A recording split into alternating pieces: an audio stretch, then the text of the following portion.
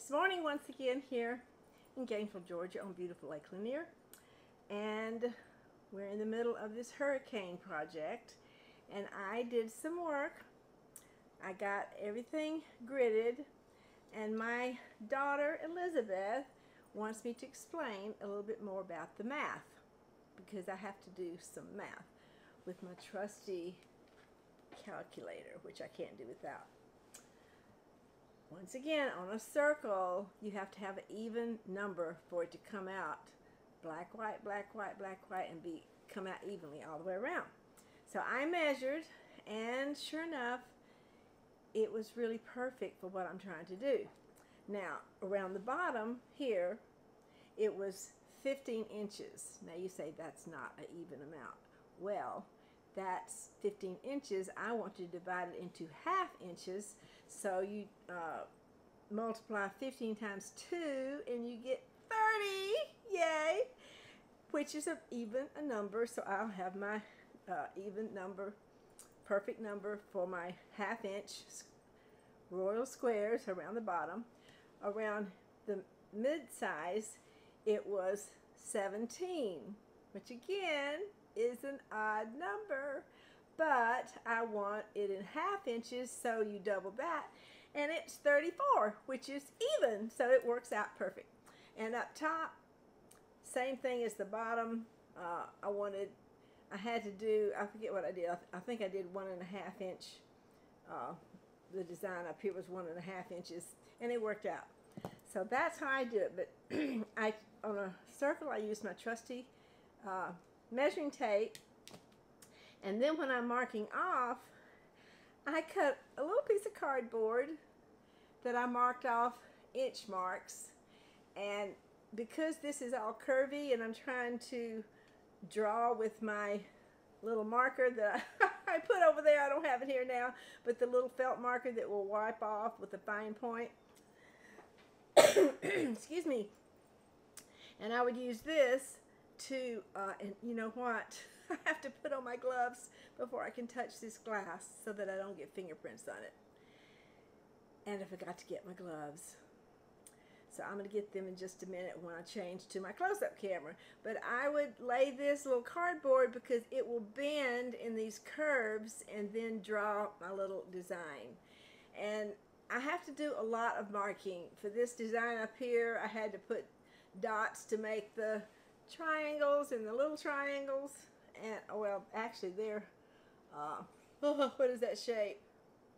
What is that shape? It's a diamond. A diamond shape.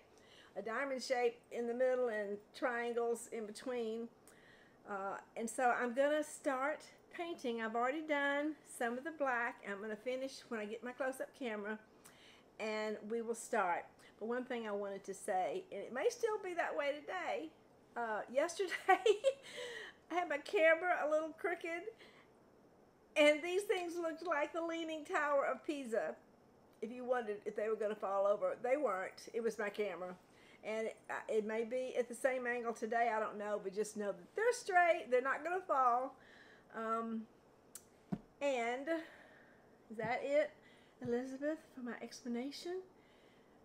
But on this piece, this the midsection is an inch tall, divided into half inch, and then each inch is divided in half, and, I, and then I make my little marks where I want to do the black, and I've done most of the black, and now we're going to fill in the rest of the black and start on the white.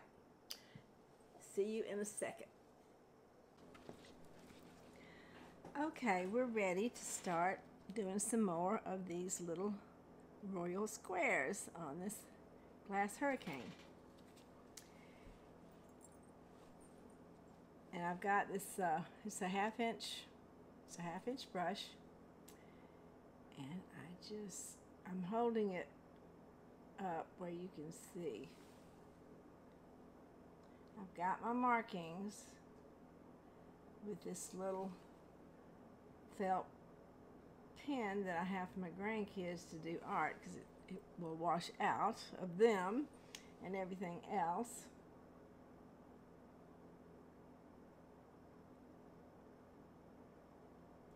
And these are my half inch squares.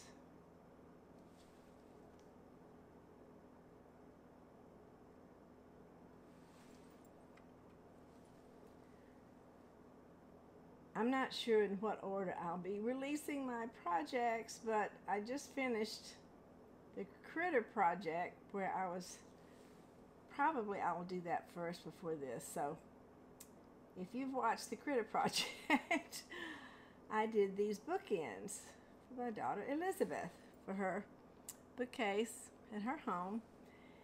And so I had them all painted and let them dry for a day.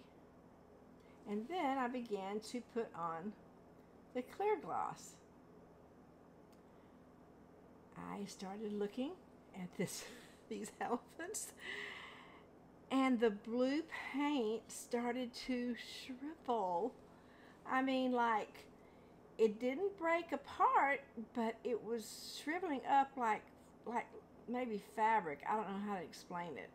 Almost a crackly look, except the paint was still it was still solid. It didn't break into pieces, but it's it was the weirdest thing that's ever happened in all of my painting. And so I, I freaked out just a little bit, but I had to say to myself, okay, nothing's fatal, right? Can fix anything. So I just had to, I kept putting on the gloss. I didn't know what else to do. I was, you know, it didn't start happening until after I was about halfway through.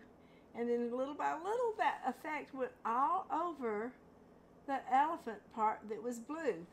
Now, the silver paint did not budge. It was just like always. But it was this blue, and the my little uh, royal squares at the bottom, and the yellow paint, just perfect, didn't do it. I don't know. I, I had combined two different paints uh, one was the Martha Stewart paint that said it was for glass.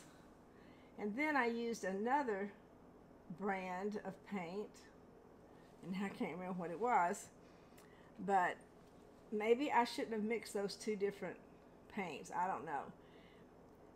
But as it turns out, I kept looking at it and I thought, well, you know what? It kind of gives it some, uh, a little interest little texture and as long as it doesn't come peeling off well the other part of that story is I was moving it over to my drafting table so that I could uh, work on the other elephant and it fell off of my turntable that I had it on.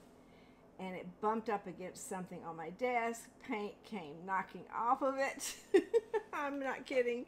I was having a bit of a little uh, panic attack.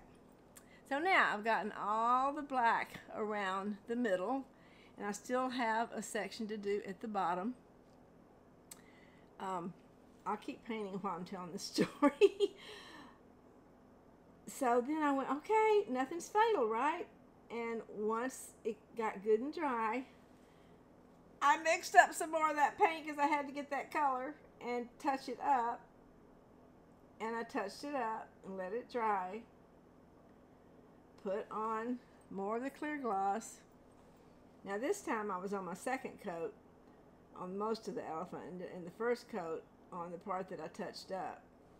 And I don't, I can't remember now if that shriveled up there or not. But we've decided it looks really fabulous with a little crinkly look. So honest to Pete, you can't mess this stuff up little mistakes can turn out to be little special surprises sometimes. Something you didn't even expect.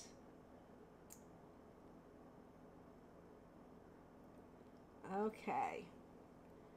I'm going to, I think for time's sake, I'm going to finish that up. And then when we come back, we'll start doing some white. And then after that, we're going to do the stripes, the stately stripes down the side, and we'll do some of that. I don't do everything for you because it would just, these videos would go on to infinity. And I know no one wants to sit here and watch this stuff that long. So here we go. Take a break.